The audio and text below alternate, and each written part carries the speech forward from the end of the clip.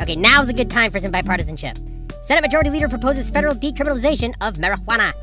Senator Chuck Schumer of New York proposed ambitious legislation on Wednesday to decriminalize marijuana at the federal level, putting his weight as Majority Leader behind a growing movement to unwind the decades old war on drugs. The draft bill, called the Cannabis Administration and Opportunity Act, would remove marijuana from the Controlled Substances Act and begin regulating and taxing it, placing new federal rules on a blooming industry that has faced years of uncertainty.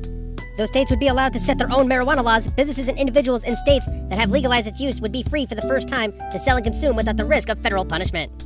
The proposal would also try to make recompense to the working class and the poor for damage from years of restrictive federal drug policy. It calls for immediately expunging nonviolent marijuana related arrests and convictions from federal records.